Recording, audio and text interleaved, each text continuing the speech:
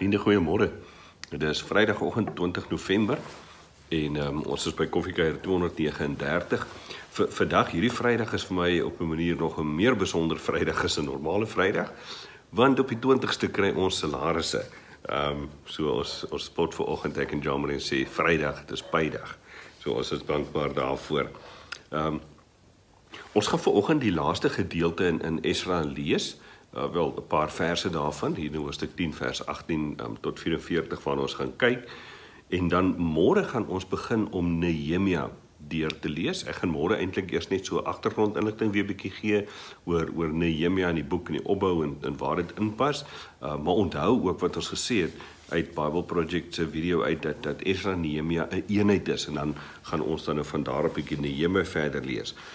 Voordat ons saam lees uit Esra um 10 vers vers 6 um 18, wil ek tog ook sê ek het er nogal baie daaroor gedink as um iemand soos ou Salas die Jager wat by ons in die gemeente is, as hy nou 'n fliek moes maak oor die boek Esra, dan dink ek nogal sou Salas half bietjie kruwelrig gewees het oor die draaiboek.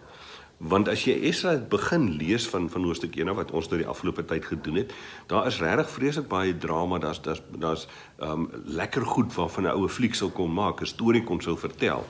En dan bou dit op en dit bou op en Esra is op die toneel en hy begin met hierdie hervormings en en die tempel is gebou en en noem maar op. Um en dan in in hoofstuk 10 wat ons dan nou gelees het die afgelope 2 dae hierdie storie oor die gemengde godsdienstige huwelike en die plan wat aanvaar moet word dat hierdie huwelike um, moet moet 'n einde kry dat daar egskeiding moet wees van hulle en dan sluit die boek af met dit wat ons nou vanoggend gaan saam lees 'n lang lys van name van wie almal se huwelike nou tot einde gekom het. Dit is eintlik so 'n antiklimaks. Maar wil ek dan by sê vriende, hou in in die agterkop dat um, Esra nie van die toneel af is nie. Wanneer ons nou Nehemia gaan deurlees, dan sien ons dat um, Esra weer op die toneel verskyn in in Nehemia 8. Dis omtrent 13 jaar na hierdie gebeure wat ons van vanoggend gelees het. Maar maar genoeg nou oor die pad vorentoe. Kom ons lees vanoggend um, Esra 10. Ek wil saam met jou net vers 18 lees. En onthou net dis nou nadat hulle gekom het daar en die plan beraam is dat die ouens moet ehm um, wat volgens familiehoofde wat aangewys is, moet hulle dan nou die regsaak hanteer van hierdie egskeiding. Dan lees ons in vers 18 daar is gevind dat die volgende priesters met vreemde vrouens getroud is. En dan sê ehm um, die kronikus vir ons uit die familie van Jesua, seun van Josedak en sy amptgenote was daar 'n klomp mense en dan noem hulle op. En dan gaan ons ehm um, aan na ehm um, vers 23 wat sê uit die leviete was daar Josabat, Simei, Keljaja, um, ook Elita genoem en en hy noem 'n klompie van van hulle daar. Dan uit die sangers uit. Verder was daar die volgende Israeliete en hy noem elke keer die klomp name wat wat dan nou daar van genoem te noem is. En in vers 44 sluit hy af om te sê al die mense was met vreemde vrouens getroud, maar hulle het van die vrouens geskei en hulle kinders saam weggestuur. Ehm um, nou vriende as ons nou, nou gaan kyk na hierdie gedeelte dan sien ons dat ehm um, die kronikus 'n keuse maak om te begin as hy dan nou die die name opnoem ehm um, by die priesters en die leviete en die sangers, almal wat by die tempelwagte was en dan laaste die gewone Israeliete. En en die kronikus probeer baie duidelik daarin vir ons aandui dat wanneer dit gaan oor die herstel van verhoudinge en en en ook 'n stuk verootmoediging voor die Here en die regte ding doen, dan moet dit begin vanuit die leierskap van 'n gemeente.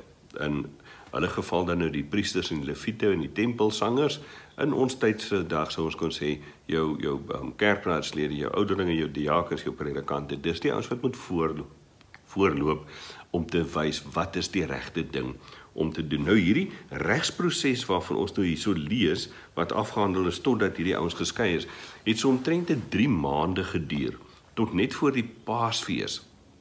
Um in die in die eerste maand van hulle kalender. Um en en dit het regtig almal geraak. Soos ons sê, as as as al hierdie name deel is en sien ons daar's 'n klomp mense vanuit verskillende agtergronde wat dan nou ook bygekom het um daarmee. En al die mense wat wat genoem word as jy hulle nou gaan optel as my somme reg is wil ek by sê word 110 mans genoem wat dan nou uit die volk uit ge, ge, met gemengde godsdienstige gemengde huwelike betrokke was. 17 priesters, 6 leviete, een van die sangers, 3 poortwagte en 23 ag 83 van die gewone Jode wat deel daarvan is. En hulle het almal vreemde vrouens gehad wat hulle dan nou geskei het en die vrouens met die kinders wat uit daardie huwelike gebore is, is dan nou saam met die vrouens terug na hulle plek van herkoms toe. Heel waarskynlik, maar dit word nie noodwendig so gesê nie, maar maar ons aanvaar dat hulle terug is na hulle ouer huise. So as een van die van die priesters nou getroud was met 'n eh, met 'n Samaritaanse vrou, dan sou sy teruggegaan het na haar ouer huis in Samaria toe waar sy en die kinders dan nou verder um, geleef het.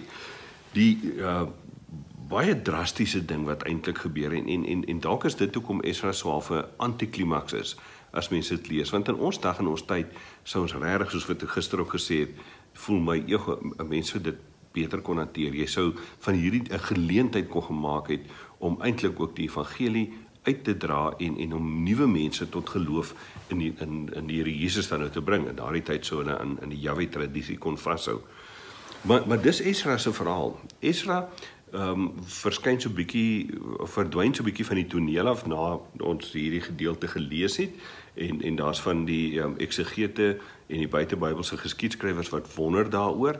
Vermoedelik is Esra terug na Babylon toe ehm um, na Babel toe want onthou mos nou Esra het in opdrag van die koning opgetree om te gaan kyk wat gaan in Jerusalem aan en ook um, rondom die vestiging van die regspraak op grond van die Torah.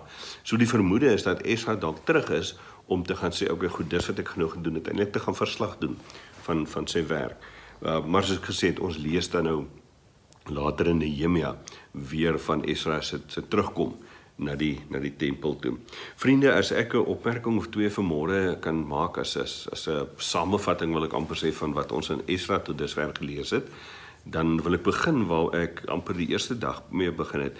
Die die verhaal, die geskiedenis van Esra vertel vir my, vertel vir ons dat dit vir God belangrik was dat die tempeldiens in Jerusalem wat binne die destydse verstaan van geloof mos tot die sentrum was van hulle geloofslewe, van die godsdienstige lewe, dat daardie tempeldiens hervestig moet word.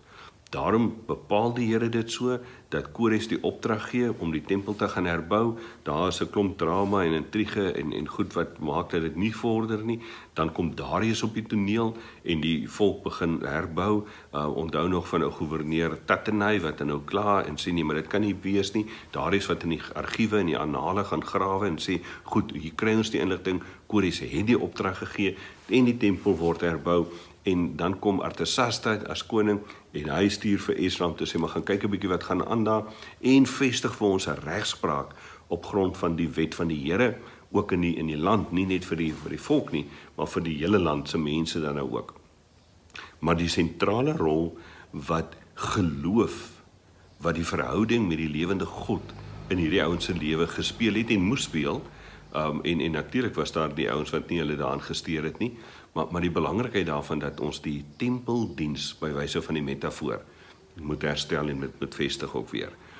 En uh, ek het dit gesê vroeër ook, ek dink dit is verskriklik belangrik dat ons in die tyd waarin ons leef met al die uitdagings wat ons beleef en al die goed rondom Covid en en en en ekonomie en noem maar op, maar dit is reg as as gelowiges sal terugkom op die punt wat ons sê maar hoe vestig ons die verhouding met die Here Jesus as deel van ons lewe van elke dag?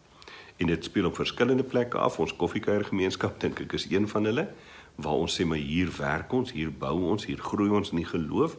Uh beslis waar jy en jou gesin of jou huismense bymekaar is en saam ook voor die Here leef, Coram Deo, die latynse uitdrukking daarvoor, maar baie beslis dan natuurlik ook waar geloofsgemeenskappe bymekaar kom waar hulle die eredienste um, bymekaar kom en daar feesvier, daar stil raak voor die Here, self voortmoedig voor God, maar ook 'n boodskap kry vir die pad vorentoe. Ek dink dit is kernbelangrik. En en dan wil ek daarmee afsluit om te sê ek dink dit is verskriklik hartseer dat daar soveel mense is wat al hoe meer los van gemeentes begin leef en wat sê maar ons kan ons kan Christen wees, ons kan gelowige wees op ons eie. Um, ek sê nie dis onmoontlik, ek dink nie dis bitter moeilik Want jy het 'n geloofsgemeenskap nodig wat saam met jou ook hierdie pad loop. Ek het in die week bietjie doopgesprekke gehad met 'n klompie doopouers wat nou in die volgende 3-4 um, weke 'n klompie kinders by ons doop en en die kern van daardie gesprekke is ook wanneer jy gedoop word, lei God jou in, trek God jou in, maak hy jou deel van sy kerk, van sy geloofsgemeenskap en vorm daai geloofsgemeenskap ook jou en jou geloof vir die pad vorentoe.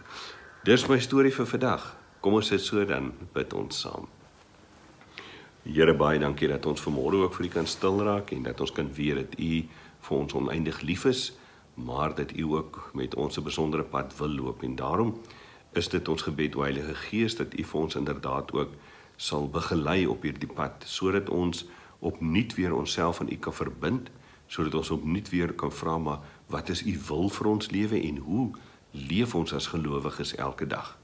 Hoe leef ons op ons eie daar waar ons werk, daar waar ons speel, daar waar ons bly, daar waar ons saam met vriende kuier, maar ook hoe leef ons as 'n geloofsgemeenskap kollektief om om deur ons lewe eer aan U te bring en U koninkryk op te bou. Dankie Here Jesus dat ons weet dat U vir ons dit moontlik gemaak het en dat ons ook wanneer ons die boek Esra deurgelees het, kan terugkyk daarop en kan sê maar, maar ons sien net hoe kernbelangrik dit vir U is dat geloofsgemeenskappe vanuit hierdie verhouding met U moet leef. Help vir ons, begelei vir ons en Here doen dit ter wille van U koninkryk. Dit bid ons in U naam. Amen. Vriende, ek hoop jy het 'n lekker Vrydag verder.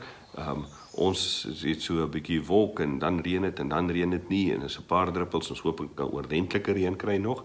Um hier in Pretoria vanaand gaan ek en Jean Marie so 'n bietjie saam met van ons gemeentemense kuier by iemand en net sommer net ehm um, hoe toe die vrou gesê ons praat nie oor kerkpolitiek of COVID nie. So ek sien nog al uit daarna om dit te kan doen.